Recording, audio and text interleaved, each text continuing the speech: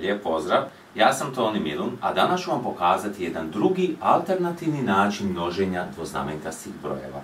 Jučer sam preko Fejsa dobio poruku od Dade i od Irme za, sa zanimljivim primjerima kako se na drugi način množe ovi brojevi, pa ja kažem idem snimiti video.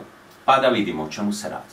Radi se jednostavno samo o crtanju pravaca i brojenju sjecišta njihovih. Gledajte, prvo ćemo pomnožiti brojeve 21 i 32. Broj 21 e, ću prikazati preko horizontalnih pravaca, 32 preko vertikalnih. I to kako? Znamenka desetica je 2, pa crtam dva horizontalna pravca, a znamenka jedinica je 1 i malo odvojeno ispod jedan horizontalan pravac. 32 vertikalna, znači znamenka desetice je 3, pa crtam 3 pravca i potom još dva vertikalna pravca. I sada brojim sjecišta. Krećem iz gornjeg lijevog kuta. Evo ovdje. Imam 1, 2, 3, 4, 5, 6 sjecišta i pišem znamenku 6.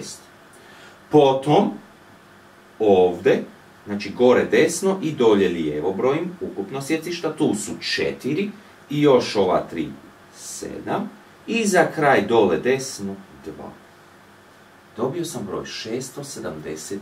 21 puta 32 je zaista 672. Uvjerite se sami. Još jedan primjer.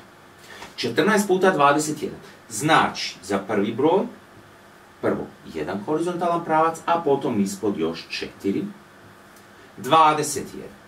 Dva vertikalna, jer je prva znamenka 2, potom još jedan. I sad brojim sjecišta ili čvorove. Krenem od gornjeg lijevog kuta. Tu su dva. Potom zajedno u gornjem desnom i donjem lijevom, to je 1 i još ovih 8 je 9.